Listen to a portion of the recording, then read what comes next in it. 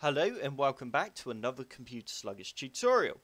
Before we get started, have you subscribed to my YouTube channel yet? If not, be sure to click on the big red subscribe button on my main page. And once you have done this, don't forget to click on that bell to be the first to get notified when I upload a new video. In today's video, I'm going to be showing you how to get to the user custom.ini file for PUBG Mobile in BlueStacks.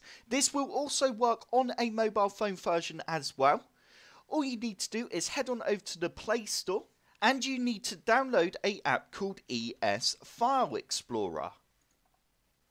You now need to go install and accept. Once it has finished installing, we can now open up the Explorer and we now need to just swipe to the left and you need to press start now. We now need to click on internal storage and we need to head on over to Android. We now need to click on data. And we need to click on com.tencent.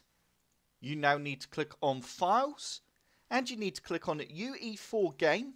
Shadow Tracker Extra. We need to click on Shadow Tracker Extra again. And we need to click on saved. We now need to click on config. And we need to click on Android and we can now click on user custom.ini and click on ES Note Editor.